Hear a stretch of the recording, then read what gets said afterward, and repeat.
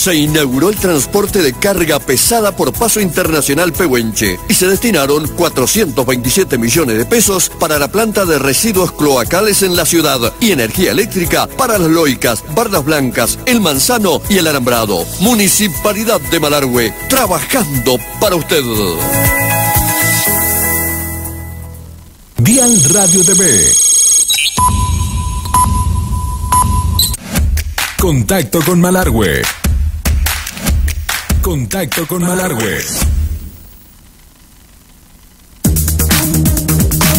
A partir de este momento les hago llegar las noticias más destacadas desde el departamento de Malargüe.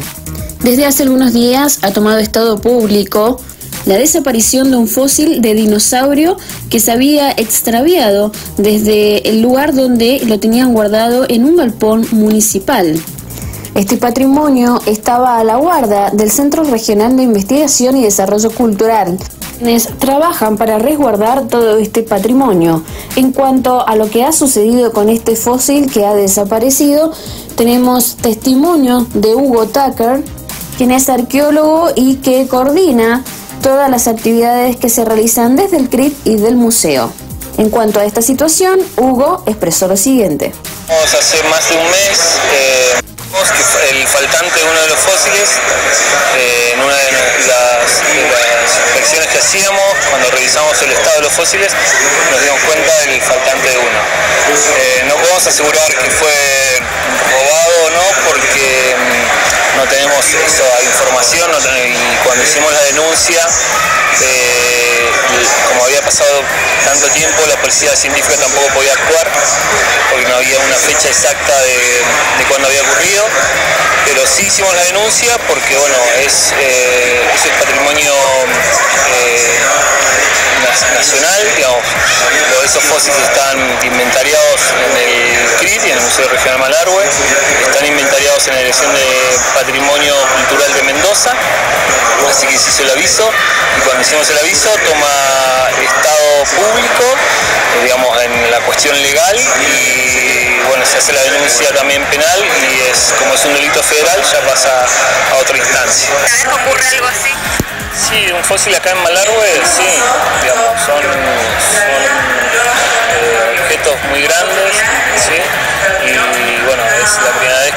tenemos eh, a ver qué pasa dentro de un organismo público. ¿no?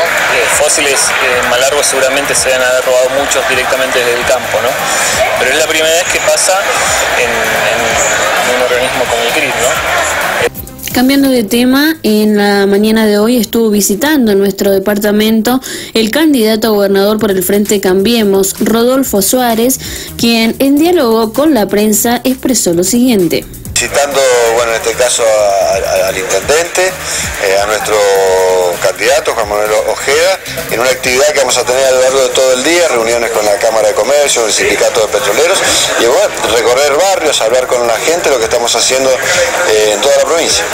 Bien, ¿cómo viene esta campaña? ¿Cómo lo está observando?